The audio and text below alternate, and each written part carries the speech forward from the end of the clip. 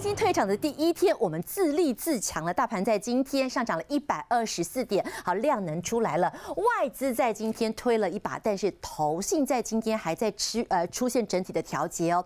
外资不仅仅现货买，期货的多单今天一口气增加了三千六百八十一口，是近期当中比较罕见看到单当天买超的幅度比较大一点点。目前多单水位又回到了一万四千一百八十三张，等于说今天现货的买超。金额以及期货的买超金额都差不多，期限选总共买了两百六十七亿，也是近期以来看到相对比较大的金额。观众老师怎么看待国安基金走了之后，外资对于台股的心态？我觉得国安基金它就是任务完成嘛，那这个地方整个市场还是往上，因为外资它不会看国安基金哦，要看那个新台币，新台币持续是在往上啊，那你不用，他也不用看台积电的法说会，为什么？因为最近的金融股实际上是有占指数，它取代。电子股取代台积电去做往上走强，所以我认为呢，整个大盘指数哦，应该它就是一个震荡往上，也不太容易像去年十一月这样子直接往上拉，但我认为是一个慢慢去做往上克服一万六的这个卖压，我觉得是可行的。OK，好，外资不看国安基金，外资不看台积电法术会，外资看台币。的确，最近台币蠢蠢欲动，因为美元创下了一年以来的低点了。那外资钱慢慢的进来，买什么呢？波杰老师，我们要请您上台来。先看到外资今天买超前十名，哇，金控、金控、金控、金控、金控，一半都是金控。风向是不是有点变了？哦，OK。外资风向变了，等一下来看到外资最近怎么个变法。除了金控之外，来长荣，长荣海运在今天召开了法说会，很有趣。今天的法说会当中，他们做了一个打油诗。好，打油诗是这么写的：乌二战事一年余，全球景气现低迷，无奈等待战火熄，不知道什么时候才会停战，咬牙挺住冷风袭。看起来解读比较悲观嘛？蛮悲观的。不过哈，这个我我，你看他们在讲什么？无奈等待战火熄的，这是超支在别人的。是，咬牙挺住，啊，能不能挺住？不知道哦。长隆挺得住，万海挺得住吗？阳明挺得住吗？不知道。可是他有讲，第一季上半年的市况看起来比较疲弱，对不对？预料第三季旺季有望复苏。啊，你再配合今天的这个上海的这个集装箱指数，嗯，两年以来单周涨幅最大的，没错啊，那表示一件事嘛，现在已经开始在反映什么？第三季的旺季了。好，那我问哦，来来给个 K 线，呃，长荣其实配的不错哈，已经开始陆续的反映第三季了，但是无奈等待战火熄，你也不知道到底什么时候战争会停战。今天已经来到这里了，最近外资不错哦，慢慢买有延续性哦，但即将碰到前波高点一百七十九点五块钱，接下来长荣海运的股价可能会怎么走？好，第一个哦，它碰到这里会蛮吃力的，对，卖压会大，对，为什么？因为对他来讲，后面的这个运价。到底能涨多久，能走多远？这个真的不知道。我说真的，大家都猜不到。所以当股价来到这个高点的时候，你要记得手上有的要卖一趟。OK，好，卖多卖少你就是要卖。再来以时间点来看的话，刚才这个朱华有讲到嘛，配得多，对不对？现在报价又涨，所以呢，短线来讲，股价我觉得会强。可是当第一季的这个季报哦，有没有可能？不好，五月初要公布了，对，有没有可能不好嘛？因为你看先前万海第四季都赔钱了，对不对？所以在这里来讲，第一季到底会赔，还是赚的少，还是多赚一点，不知道。所以季报出来的前后，可能股价它就会比较稍微震荡。是，可是我觉得如果反映完季报啊不会跌的话，哎，你就要注意。后面就有机会再走一波除权洗钱的除权洗钱的行情。OK，好，这是长荣 外资今天买长荣买了很多的金控族群，买华兴、买红海。外资今天卖什么呢？外资今天卖的主要在卖联电，联电已经连续调节好几天。汉翔哎，涨多的，涨多的，涨多的，涨多的，好。贯穿了今天博杰，今天在整个节目一开始告诉我们，最近外资风向开始变了，老船长现在见风转舵了，舵怎么转呢？开始买进了一些金控族群，开始出脱了一些涨多的族群，接下来我们怎么跟？好，其实哦，这个跟第一阶段我在跟大家讲，廉价回来以后风向有变，是它是连贯的，嗯，那为什么第二季我们四月回来之后，大家的这个想法会开始变？嗯，第一个很重要。现在市场已经不管你有没有降息，对不对？你最好不要降，你降息代表什么？经济景气出美国的经济衰退嘛，所以你看很好笑嘛，先前升息升很快，大家期待说啊不要升了，赶快降，对不对？结果现在停在这里的时候，降也不是，不降也不是，好，这也没有关系。接下来美股的超级财报周是不是要开跑？对。那你万一这些科技业出来又不好，是，那是不是对于这个外资来讲，哎，他会怕嘛？所以你看涨多的股票，他不要先卖，就要先调节嘛。另外，台积电下个礼拜很重要，你看陆行之就讲一个重点嘛，台积电的去化才开始，嗯，对不对？陈龙讲嘛，它是最后一棒没有错。可是当台积电库存的去化才开始的时候，它会不会影响到其他 IC 设计股价表现？其他半导体股价表一定会，嗯，也就是变成说。当台积电释出不好讯息，它会压抑到其他可能开始复苏的半导体，所以这些买盘短期之内有没有可能全部都进来买电子股？嗯哼，几率就不高。好，那还有一个很重要的哦，当美国超级财报之后，我们陆续公布季报的时候，大家重视的是法说里面有讲电子的库存能不能在第二季真的顺利就降到最低，然后第三季就回来了。陆行师说要好几个季度啊，所以所以嘛，我就说嘛。为什么外资这些老船长在最近的买卖盘，他会转向，转到哎一堆金，对不对？然后卖涨多的这个电子股，或者说电子股不涨，他在卖嘛？我觉得还有一个就是股价涨多就是最大的利空，很多个股在第一季涨幅很大，所以我们刚才看，到底这些人转到什么方向去比较重要？是，我们能不能跟？好，第一个。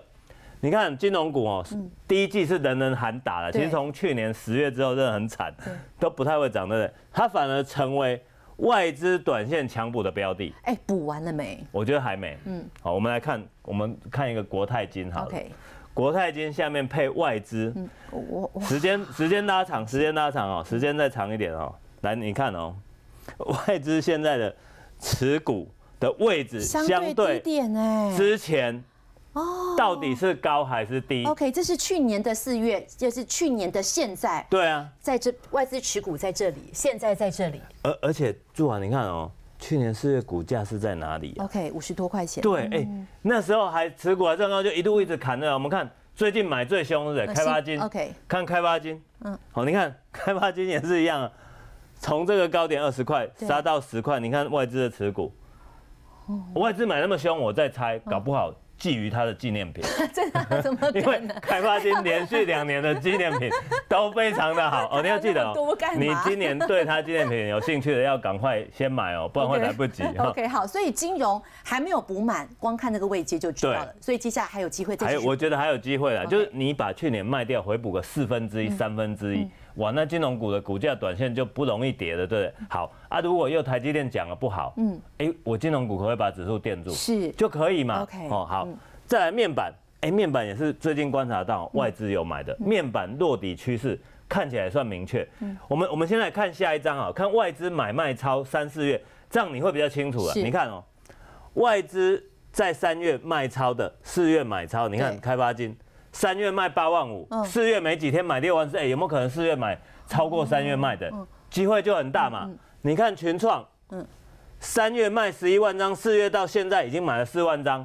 国泰金卖六万，现在已经买一半，超过一半回来。哎，中钢哇，卖三万三，现在已经买三万一。华航卖九万一，现在已经买回两万八。好，再来，你看友达卖四万，买两万。南亚科哇，买超过了，超过，买超过了。长隆行哎也回补了一层了。长隆哦，长隆这个你看也补了这个大概二十 percent 左右了。华兴好，所以我们回来刚才。那一张字卡，面板，你看面板是什么？落底的趋势，买报价嘛，对不对？报价回稳，这个我们其实好几个礼拜以前就跟大家讲，哎，面板这个我判断，目前它正，但是不会跌，那有机会是外资买盘回来以后，慢慢再往上。我们来看友达跟全创，你看友达跟全创有没有？这边震完之后，哎，现在这个走势反而是下个礼拜随时因为外资的回补，它就会挑战前高啦。看三四八一的全创。也是一样啊，是虽然这里稍微有卖压，可是看起来法人有在回补，不然我们看什么？看三零三四的联勇，对不对？这个驱动 IC，哎，人家是什么？股价在创新高哎，所以回到字卡面板，哎，就是落底趋势。再来，航空双雄最近在买，就是你看嘛，春假这个时候大家也出去玩，再来什么暑假，对对，暑假完又是十月要干嘛？看枫叶，哇，再来又要飞去这个跨年了，所以航空双雄他有买，但是我刚刚有跟大家讲嘛，我觉得今年你要把眼光放在哪？放在那两个新的是新的部队上面。那华航跟长龙啊，我们看一下，就是说华航在这里哦，短线我觉得会挑战年线。哦，就是说因为现在观光的资金都有涌入嘛，看长龙航也是一样嘛。这边震荡完，但是你到年线的位置不要追，因为你把时间拉长哦，我们以长龙为例，你看年线的位置刚好是什么？前面对前面颈线就是前面套牢卖压会大，除非他们缴出来的第一季的季报，嗯，哦，跟整个第二季之后的营收都是比市场预期还要好，哎，那就有机会突破，不然它就是到这里就会下来。嗯哦，如果可以的话，给我看一下虎航的日线。是我们看得到虎航吗？好新贵的虎航可以哦 OK，好，我把时间拉长哦，你你看虎航的走势，嗯哼，虎航是这一波跟着新宇上来到四十九，对不对对？然后你看最近人家震荡整理的这个姿态，很强哦，很强，嗯嗯，对不对？好，那只是说我要提醒大家，新贵的股票它没有涨跌幅嗯没有涨跌幅。那我不是说要叫大家一定要买这个，而是说我们要来观察，嗯你从这些旅行社大涨之后，然后到这两家新的航空公司，因为他们没有这个长龙跟华航的这个包袱，对不对？所以今年对他们来讲，如果股价可以随着这些旅行社跟饭店往上走，那就代表什么？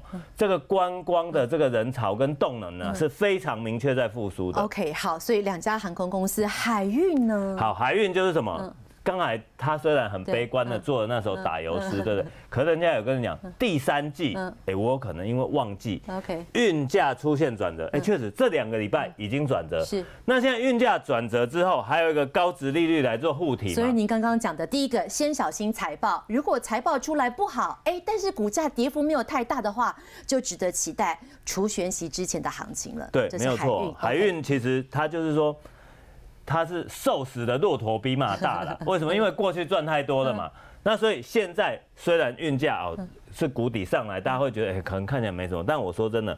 你这个高值利率啊，嗯还没有除之前呢、啊，对某些人来讲吸引力都很大吸引力都。很大再来哦，船产的龙头就是我们刚才看到中钢啊、嗯华兴这些，对不对？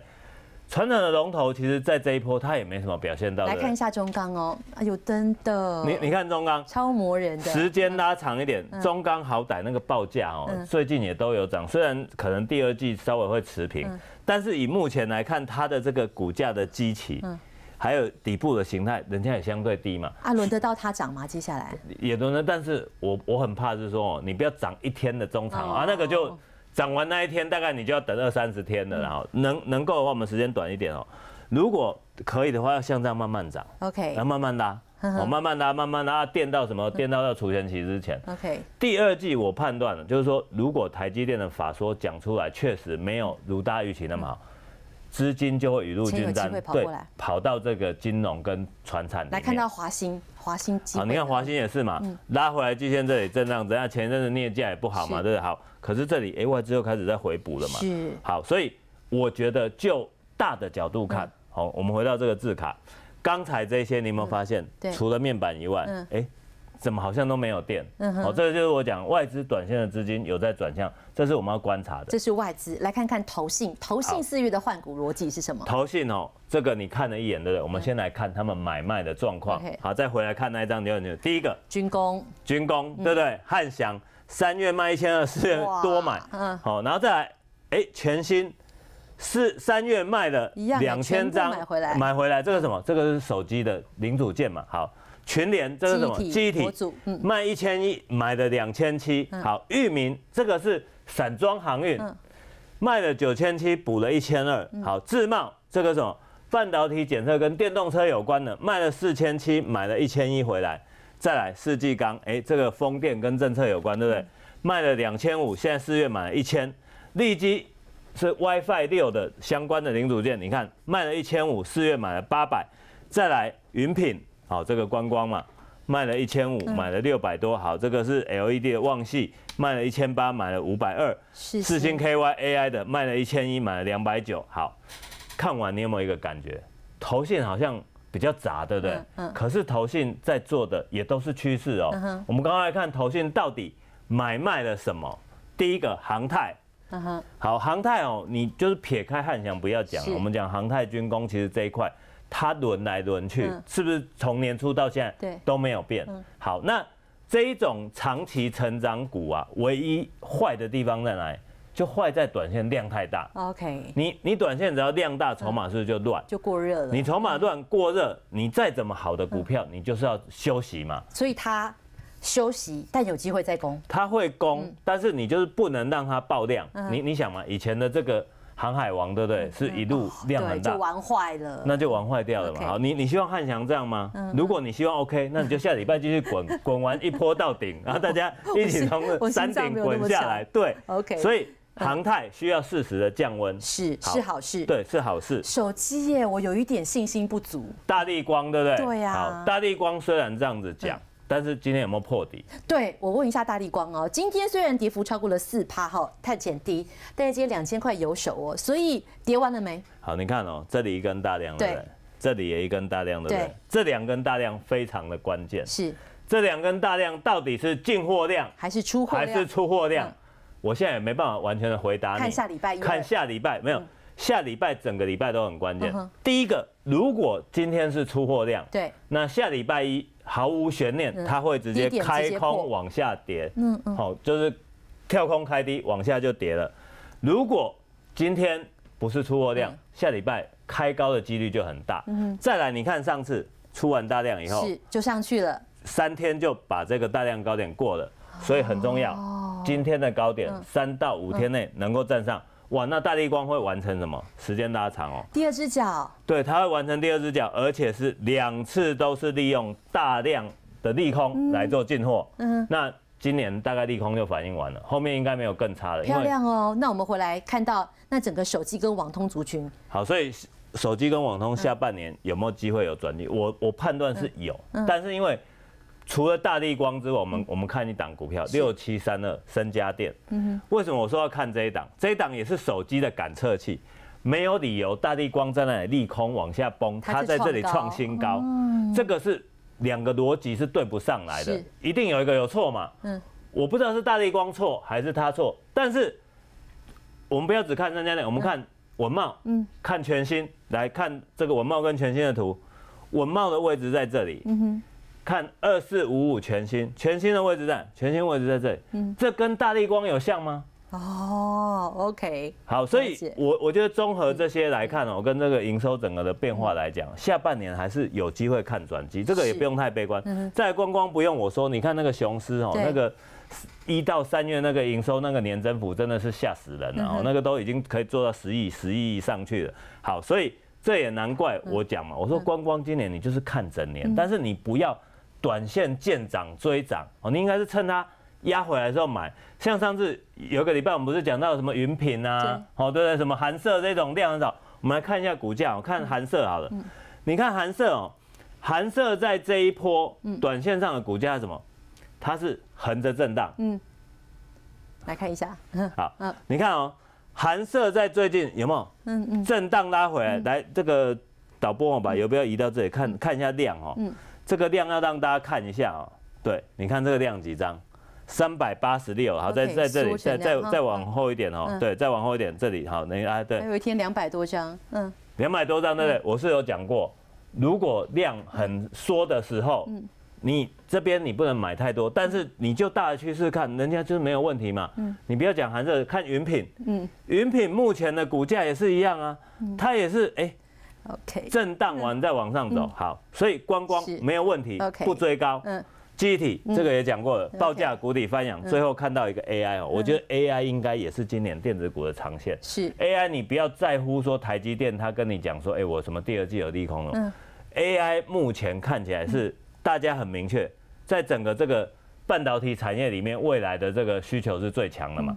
所以 AI 的这一个区块，你就要观察细制材。细制材对，包含像什么四星呐。创意的、力旺这一种好，那这个区块除了细制材之外，最重要的像散热，哦，之前有跟大家讲过嘛，你包含像建测啊、双红哦，还有这个旗红这个区位，我觉得都是可以来观察的。太好了，谢谢博杰老师，请回座了。所以四月份变数很大，但是机会很多，外资开始在换股操作了，投信也在换股操作了。旧主流会不会有新面孔？有机会，但是旧主流不会缺席。这些题材，还有刚刚博杰老师提供的一些个股题材，提供给你做参考了。休息一下，喝一口水。接下来苏律师要开讲了。第一个例子要告诉您，到底用保单来进行传承，需要注意哪一些事情？休息一下，稍后回来。